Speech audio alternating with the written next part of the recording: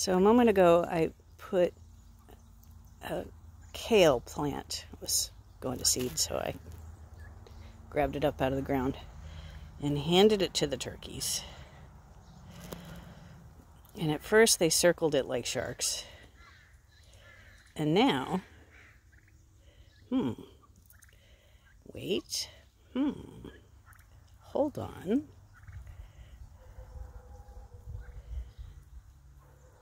Just for the record, I don't actually eat kale.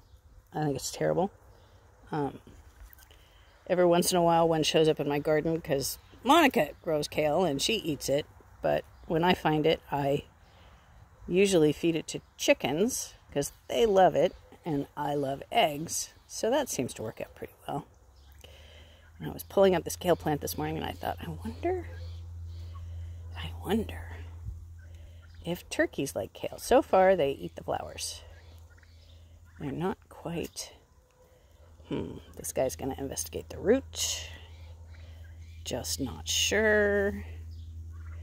Is this a thing?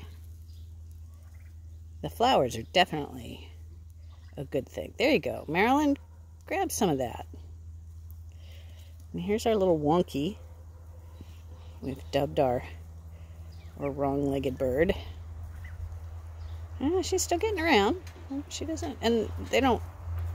Turkeys aren't like chickens. They don't pick on other turkeys. They just are very peaceable, communal birds. They keep track of each other. Marilyn says, yes, the flowers are definitely the good part of this plant. Who knew?